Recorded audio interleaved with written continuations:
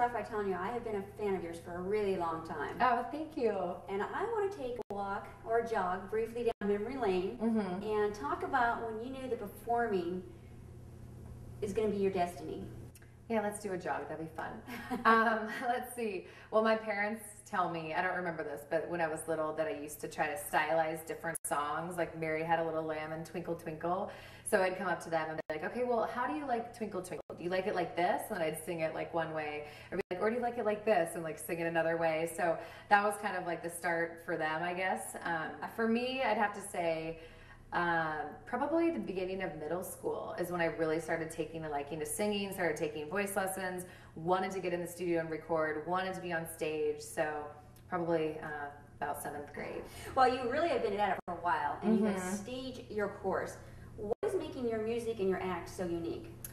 Um, I think performance is so important. I think you can have great music, but if you don't put on a good show, um, people don't really fall in love with your music as much. If you put on a great show, people will connect with you so much more. And I think it's so important to have the visual with the sound and the costumes and have dancing. And I just love a whole like production.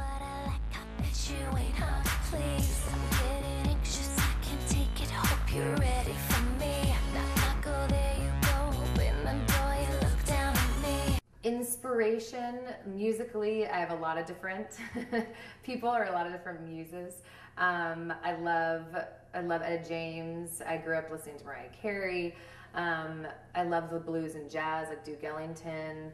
Uh, for stars right now, like I absolutely love Pink. Um, I think Sure. sh- she has a great voice and is just so different. She is very different. Yeah, love her. Definitely my mom and dad. They've been so inspirational to me, and um, They have really kind of backed you through this this whole career of yours. They The- have. the building of it, right? They have, and I'm so close with both of them, and they've just been behind me for the whole thing, and I couldn't ask for a better parent. So, You are a finalist on NBC's Fame. uh huh.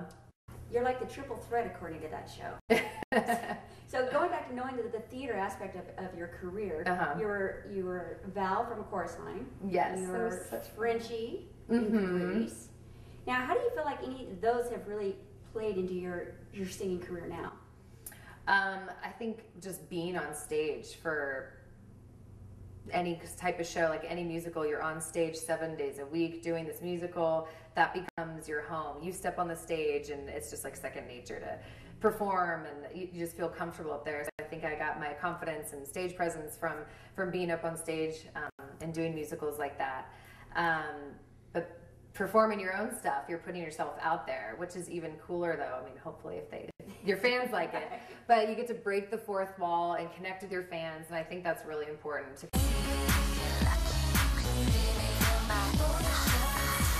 Going back in theater, what Uh-huh. was your favorite character? Honestly, I loved playing Val in Chorus Line. It was so much fun. What was fun about it? Um, singing her song. Her song, I don't know if you know a a chorus line, it's called Tits and Ass. Such a fun. I apparently don't know it. No, I can't believe you've never heard of it. But it's, yeah, it was really funny because I got cast and I walked in and they're like, okay, Lauren, we want to cast you as Val in a chorus line, but there's only one problem. I'm like, what? They're like, you don't have any so we're gonna need you to do something. Like, um, okay, don't worry, I will figure that out. I'll figure that out. But you no, contact Victoria's Secret at that point? yeah, uh-huh, yeah, and just stack them on, stuff them in. Well, you've had a great opportunity to work with Brian Friedman, who Mhm. everybody loves from So You Think You Can Dance. Yes. Now, when did you two come together? We joined forces a while ago back in Arizona. We're, um, I, don't even know how old I was. I was probably like nine years old. Which nine, like, nine or ten. Not long ago, right? Yeah, like five years ago. um, and I went to this open gym thing where it's at a uh, like gymnastics place, and you go there and you pay, and people will spot you doing back handsprings or back tucks, whatever. And I met him there, and I recognized him from. Um, from Newsies, the movie, and also from Kids Incorporated. Hi, I'm Hildy, and I am not really a waitress. You're not really a waitress. No, not really. well, Can you guess what I talk am? about your CD, Not Really a Waitress. Mhm. How did that come about? And creating that album or, or making the album, hmm what uh, what went into that? Um, you know, I knew I wanted to kind of go a new direction with my sound, with the music, and so I wasn't sure what that was. And I heard um, the song sent to me, Boy Shorts, which is my first single that I released, and I loved the sound. I really liked it, and I, so I decided to work with the producers on a whole album. The name came later, and we ended up adding a song called "Not Really a Waitress" as well. And just you know, being out here for so many years, trying to get by, being a waitress to be able to pay my rent and afford tracks and all that stuff, I thought it was appropriate. This album is a little different, and um, I'm really proud of the way it turned out. All the songs are very different. You go from one track to the next, and it, it just there's a different sound. There's rock influence, there's um, R&B influence, it's pop music, so it kind of has just a blend of everything.